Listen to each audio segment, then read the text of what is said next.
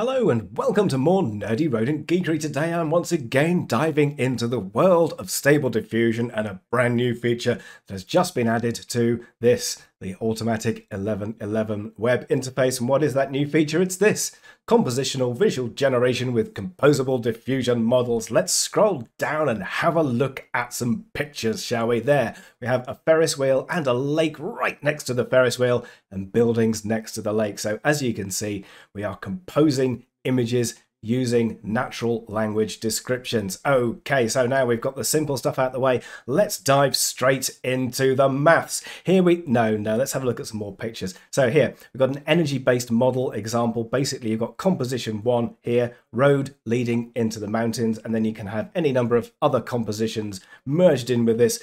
So here we've got yellow trees on the side of the road. Those go through the diffusion model, and then we get a concept conjunction. We get the two combined together We've got a little score for that one, little score for that one, and we get a generated image. Isn't that fantastic? Let's scroll down and have a look at some other successful examples and some failure cases as well. So here we've got a vehicle and a snow-covered forest. Put the two together, what do you get? You get an abandoned vehicle in a snow-covered forest. The same with a camel in a forest. You can get a camel in a forest, horse in a field, and a boat in the desert. You also get some fails. Here are some fails. So this as you can see, doesn't know what a person is.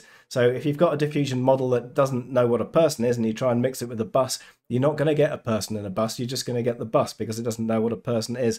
And the same with the diffusion models that get, you know, objects, attributes confused. So there we've got a bear in a red forest, but the bear's red and a car stuck in the forest and you try and mix the two and you get a bear in a red forest and a car stuck in the forest and you're actually going to get the red car stuck in the forest because the bear's red because it's got the attributes confused. And here are some composition fails, basically where the object is in the center. So you've got try to mix a bird and a flower, put the two together. What do you get?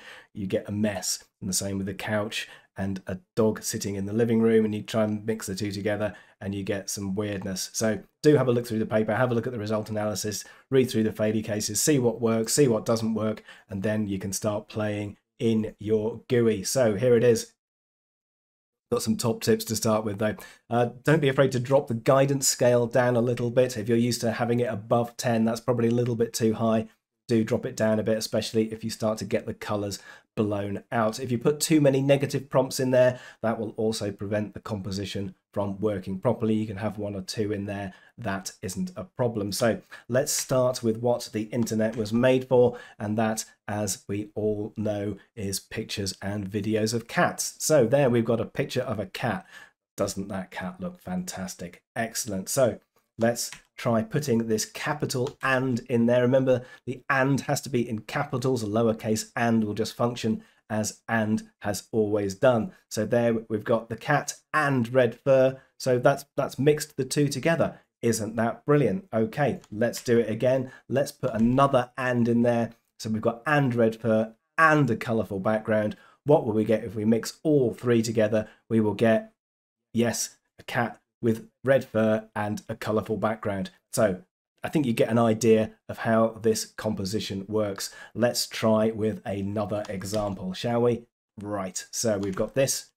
This is a fountain in a castle courtyard. So that gives us that picture. That's our starting picture. And now we add another and onto it. So here we've got a fountain in the castle courtyard and a fountain painting in the style of Van Gogh. So we put those two together. What do we get? Yes, we get a fountain and the style of Van Gogh put together. Doesn't that look fantastic? Seems a lot more easy to compose these things using this capital and, doesn't it? You can really get what you want out of it. So what happens if we add and a colourful background to that? Yes, we get a colourful background. As you can see, the style has changed a little bit. It looks a little bit more watercolory, but that's pretty much how everything works. So let's start to get a little bit weird, shall we? Just so we can really, really understand exactly what is going on here. So here we have Ameri American Gothic and Starry Night. So I'm mixing two very famous paintings together. What do you think will happen if I mix two very famous paintings together? Well, let's see, shall we? We get something that looks a little bit like this. There we go. Isn't that weird? So we've got Starry Night, there we've got Starry Night, and we've got American Gothic. Obviously, I've increased the weight there on American Gothic, so that's that's the sort of thing that you get out. Now, what happens? I mean, why does it look like that? What what happens if I just take the and out and just put a normal and in there? So I've got American Gothic and Starry Night. Will it look exactly the same or will it look completely different? Well, we'll find out. There, it looks completely different, doesn't it?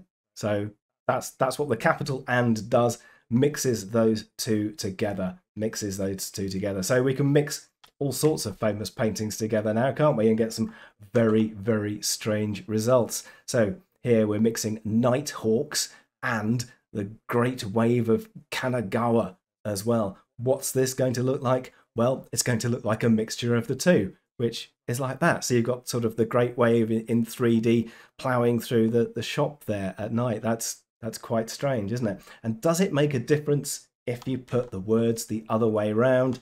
So if I start off with the Great Wave and and the Nighthawks afterwards, will it give me exactly the same picture or does it still make a difference? Let's find out.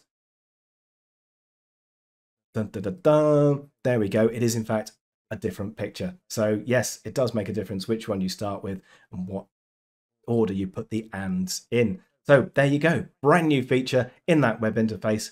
Absolutely fantastic amounts of fun to play with. But before you go, there's a couple more links here that you can click on to learn about even more nerdy rodent geekery.